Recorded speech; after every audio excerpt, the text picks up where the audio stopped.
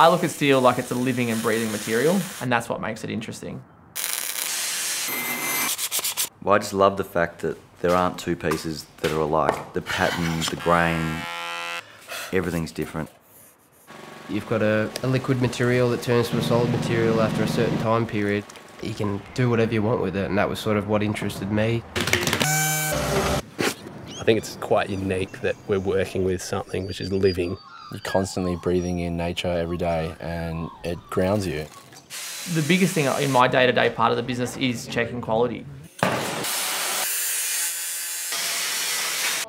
I'm becoming more of a perfectionist actually over time. It has to be 100% or it won't go out the door basically. That's the best part, you know, you're creating something that not many people can. Dealing with someone's garden, it really is such an important space. It really is another living space.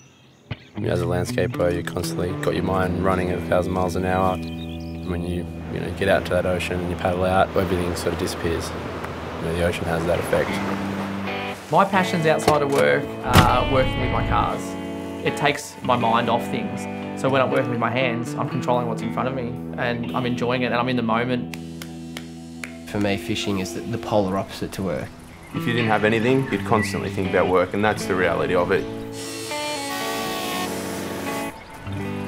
Music keeps me relaxed, but also helps me concentrate.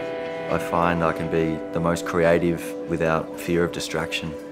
There's really no place I'd rather be than at, than at work. It's my passion. I love it. I do not feel like I go to work every day. I do love what we do. We did this. This is what we've built from hard work. I feel quite proud of my work, proud of what we do as a team, you know.